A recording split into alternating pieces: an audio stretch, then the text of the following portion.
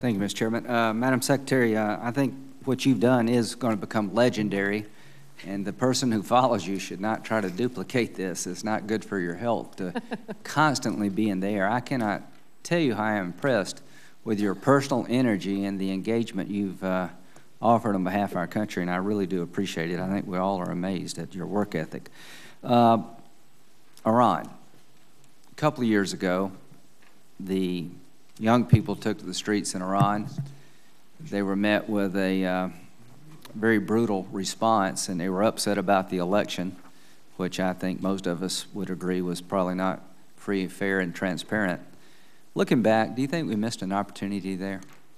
You know, um, Senator, we, we spoke out at the time, and we were also um, not only conscious of, but advised by people from within and outside of Iran that it was very important for them not to be seen as though they were in any way um, a, a directed by, affiliated with the United States, that this needed to be viewed as an indigenous Iranian movement.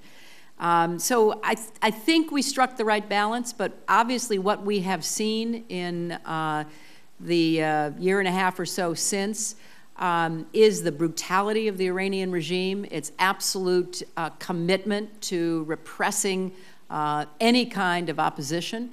And I have been upping certainly, you know, my rhetoric. Uh, we have under the legislation passed by the Congress the ability to designate human rights abusers. We've been using that very uh, dramatically. Have we I think, designated effect. anybody in Iran as being a human rights abuser? Yes, sir, we have. We have designated a number of them. I just designated some more of them a few days ago. What's So, the highest official that's been um. I think, um, I don't remember the, uh, I'll get you all of that. The prosecutor general was somebody we just designated. Would you consider Gaddafi a human rights abuser?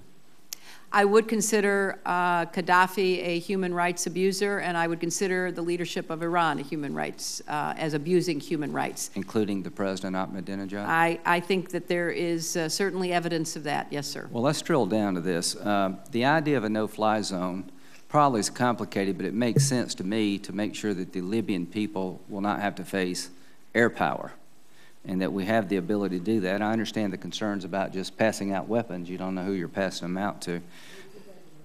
Would it be, uh, would it be smart if the, there was another uprising in Iran where the people took to the streets, that we stand behind the people uh, in the streets and impose a no-fly zone uh, in Iran if they used air power to oppress their own people, or is that a different situation? Well, Senator, I think that uh, I'm not going to speculate on a hypothetical. Okay, fair enough.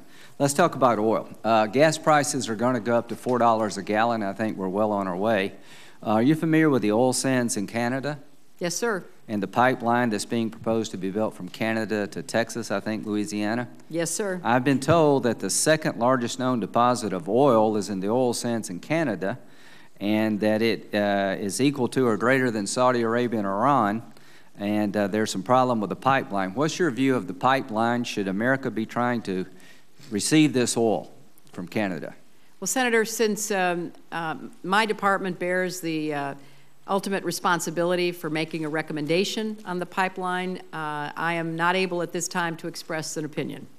Um, the, uh, Are you generally supportive of receiving more oil from Canada and less from the Mideast? I am generally supportive of receiving more oil from Canada. I am absolutely supportive of us doing more um, in energy efficiency and renewables and looking for uh, clean ways to use our own uh, resources as well. Well, let's go to war zones. Now, in Iraq, by the end of the year, according to the uh, agreement negotiated by the Bush administration, uh, all American troops are supposed to withdraw by 2011. Is that correct? That's correct. Now, come 2012, there's a lot still to be done in, in Iraq.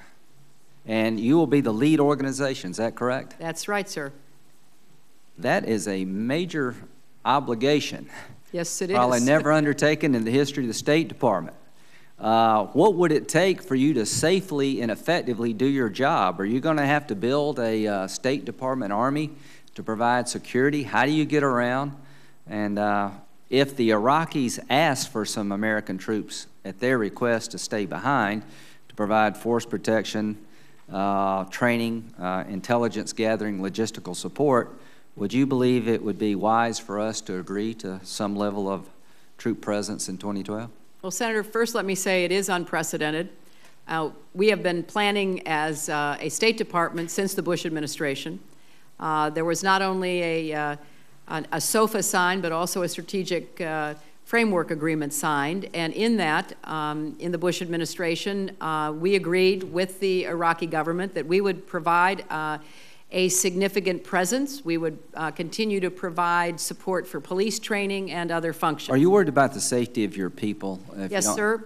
Yes, sir. We and are I am worried. too. Uh, how many people worried. would you envision being in Iraq to do the jobs that you'll be tasked to do? I think uh, we're looking at thousands, I mean, like over 10,000. over 10,000. And we got to Yes. realize as a committee, we're going to have 10,000 American citizens, all civilians, uh, trying to do business in Iraq all over the place with no troops.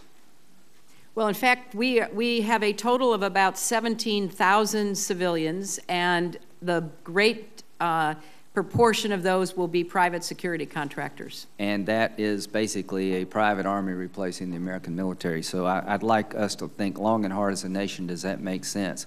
You being in the lead makes perfect sense. Now let's move quickly to Afghanistan in 42 seconds. You're negotiating a strategic framework agreement with the Afghan government, is that correct? We call it a strategic partnership dialogue, but that's what it is. Okay. And the surge of military forces has a uh, equivalent civilian surge, is that correct? Yes, sir. And General Petraeus has told me, you and everyone else, he cannot win the fight in Afghanistan without you, USAID, Department of Agriculture, Department of Justice. Is that correct? That's right. Now, do you think it would be wise for this country if the Afghans made a request as part of this negotiation to have joint basing past 2014, where they request our presence, where there would be a uh, joint basing arrangement with American Air Power and Special Forces capability to ensure that we maintain the gains that we fought so hard as a signal to the region that America is not leaving this place in a helpless situation? What would be your view of Well, such Senator, it's, request? it- it- it's not only the United States, but NATO at the Lisbon Summit made a commitment that we will be supportive of uh, uh, the Afghans after 2014 when our combat mission ends. There are many ways to achieve that. We have ruled out permanent American bases, uh, but there can be other ways where we provide support for uh, the Afghans. Just as you referenced with the Iraqis, they have not asked us for anything, but they have huge gaps in their capacity, and they are in a very dangerous neighborhood, so they may well come to ask.